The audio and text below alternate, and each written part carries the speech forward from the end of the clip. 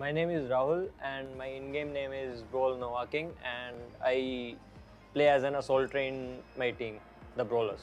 Hi, my name is Vinay. My in-game name is Iconic, and my in-game role is sniping with the Brawlers. Hey, my name is Prasoon and I'm from Lucknow. I play for Brawlers as an IGL and uh, my basic role is a support player. Hello, my name is Ritik. Uh, my in-game name is uh, Brawl Dark and my role is uh, assaulting. Hi, my name is Dhruv. My in-game name is Brawl Sangwan. I play as an assaulter. Ups and downs throughout the whole PMCO journey. Like we were a new team uh, when PMCO started, so in the group stages our coordination wasn't that good. And additionally, uh, three of our players switched from iPad to mobile, so that transition was very hard.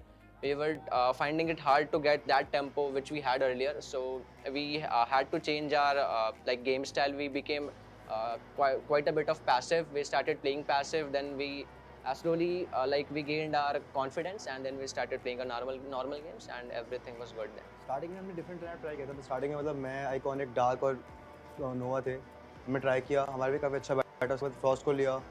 सभी काफ़ी अच्छा बैठ रहा था। हमें लगा कि we shall make a new team bowlers फिर हमने ट्राई किया तो सब कुछ अच्छा बैठ रहा था तो वी कंटिन्यू विद दैट जो हमारा एरिया होता है जहाँ हम ड्रॉप करते हैं हम उस एरिया पे पूरी स्ट्रैटेजीज बनाते हैं। हमारे पास प्लान्स होते हैं कैसे अग्रेसिव खेलना है कैसे पैसिव खेलना है कैसे स्क्वाड्स को लाइक जैक करना है, कैसे हमें रिट्रीट करना है तो लाइक हमारे पास सारे सिचुएशंस होती हैं। हर चीज़ सॉर्टेड आउट होती है, इसलिए हम उस जगह पे जाना पसंद करते हैं। बेसिकली जब पी एम स्टार्ट हुआ था, हमारे जस्ट टीम नई नई बिल्ड हुई थी उस टाइम पर। तो उस टाइम पर हमारी कोऑर्डिनेशन और सब कुछ इतनी अच्छी नहीं थी। देन थोड़े मैचेस हुए आगे क्वालिफायर्स के, फिर थोड़ी कोऑर्डिनेशन बढ़ी, फिर आगे सेमीफाइनल आया तो हमारी कोऑर्डिनेशन काफ़ी बेटर हो चुकी थी। बिकॉज़ हम इतने सारे एक्सपीरियंस मैच खेल चुके थे कि काफ़ी डिफ़िकल्ट था वहाँ पर परफॉर्म करना। तो सेमीफाइनल में तक आते आते हमारी कोऑर्डिनेशन काफ़ी ऊपर पहुँच गई थी। इसके लिए हम अभी तक सीधे ट्वेल्थ से सीधे फ़र्स्ट पोजीशन पर पहुँच पाए।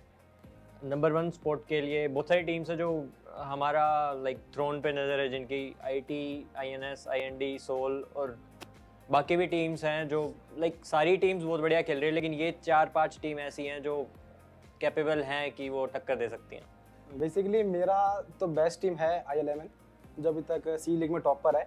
बिकॉज़ उनकी एक तो जोन मूवमेंट पोजिशनिंग सब कुछ सबसे अच्छी है।